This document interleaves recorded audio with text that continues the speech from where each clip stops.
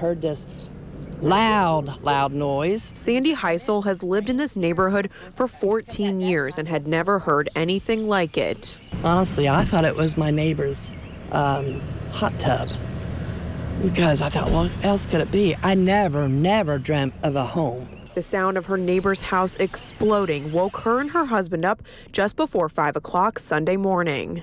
Just all kinds of thoughts were going through our heads. Her nine month old granddaughter was asleep in the living room, her bassinet just feet from where a window shattered. In the back room, a fan nearly dropped from the ceiling. It just barely missed our other grandson. So we were very lucky. We lived over here for 35 years, 45 years, and uh, we've never had any real problems. Bruce Self lives within sight of the home that exploded. He and his wife thought a tree branch had fallen on their house, but then he went outside. We saw the flame up in up in the air. Self says he's fortunate his home wasn't damaged.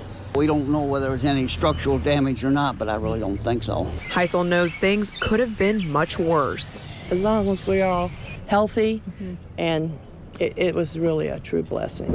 And she believes the neighborhood will pull together.